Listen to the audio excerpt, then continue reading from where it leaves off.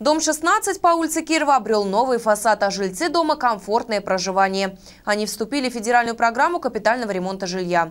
Выполненную работу сегодня принимала комиссия. Как от слов переходят к делу в сюжете.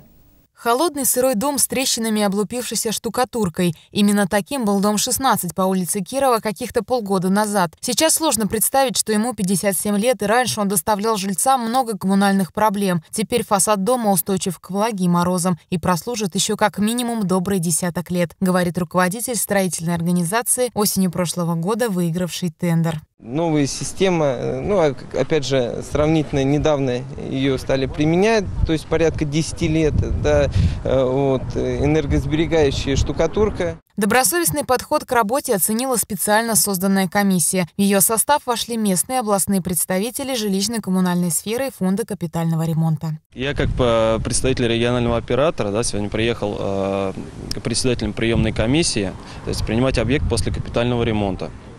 Вот, э, ремонт проведен на отлично, это мое мнение. Я думаю, что э, все со мной согласятся, потому что применены современные технологии, э, фасад полностью утеплен, то есть это не какой-то там частичный текущий ремонт. Радости жильцов нет предела. Дружные, они болеют душой не только за состояние собственных квартир, но и общего дома. Обновленная кровля – их заслуга, а фасад они доверили профессионалам. Мы очень долго ждали такого момента, когда это все случится. Мы даже и не верили, какой был у нас такой страшный дом. Это ужасно было. А сейчас вот мы любуемся, даже не верится. Как евро. И ребятам Классные. всем большое-большое спасибо. Молодцы. Аж слезы прошибают Молодцы. за ваш нелегкий труд.